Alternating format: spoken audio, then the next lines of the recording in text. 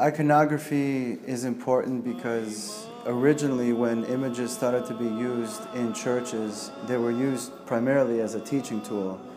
People were illiterate, people weren't able to read, they weren't able to maybe even communicate uh, the important message that the theology of the church would teach or offer.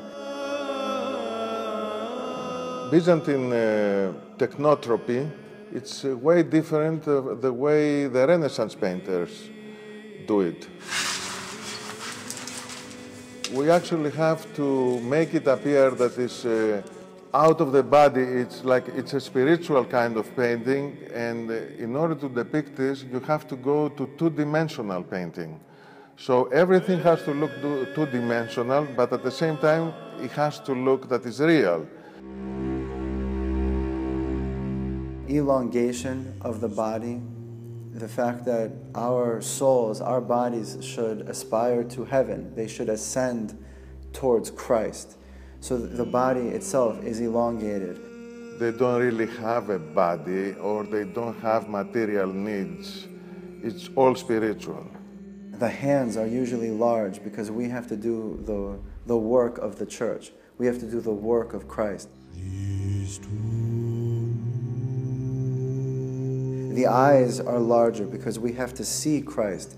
We have to see the good in other people. The ears in the icons are larger because they hear the word of God. We hear the message of good news that is proclaimed to us. The smallest thing on, on, on any icon, if you look at a face, is the mouth because we should be silent. We should be more focused on our interaction with each other and then also the fact that we should be listening for God's will and God's calling within our lives. You never see fat people or, uh, you know, uh, passionate people of any kind. You know, you, they're very detached uh, faces. Very dramatic scenes like the crucifixion of Christ. Very, very dramatic scene. But Christ himself doesn't have a face of agony or a face of pain it's a very somber and humble face.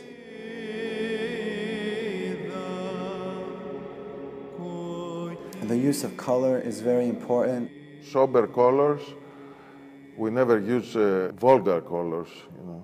They're not uh, really fleshy, or, uh, but they appear to be fleshy. We care more about uh, the quality of the light that falls on the flesh, this is because this light comes from God.